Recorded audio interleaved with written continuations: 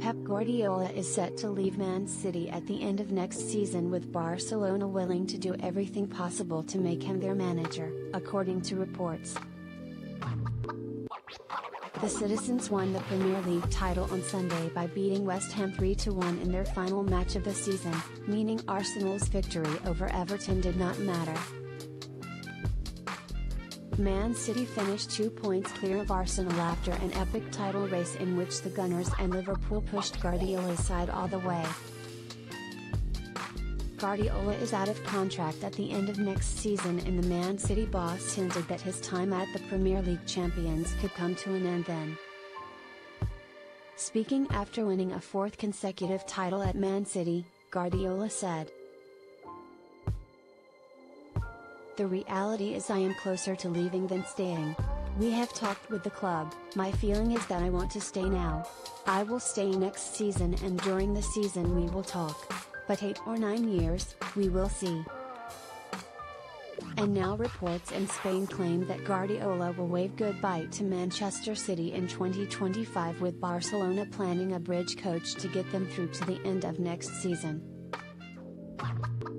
At that point they plan to try and hire the Man City boss as he will not renew his contract at the Etihad Stadium with Bayern Munich also linked with a move.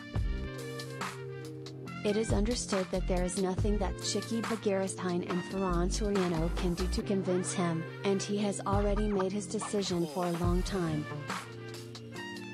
and Barcelona president Joan Laporta will do everything possible to fulfill one of his great dreams and bring Guardiola back to the Camp Nou for a second spell as manager.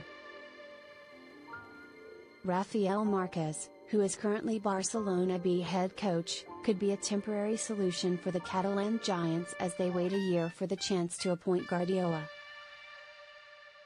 Congrats to Man City for one more insane season, Pep Guardiola confirms he's a legendary manager and this group of players, this board are really special, Romano wrote in his caught offside column.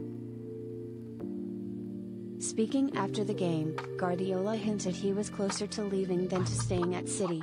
It's not guaranteed yet, there's one year to decide, so to make any firm predictions now would just be a guess job and I don't like to do that. In general, the feeling is really for Pep to leave Man City in 2025 but again, it's not something that he has already discussed with the club. Let's wait and see.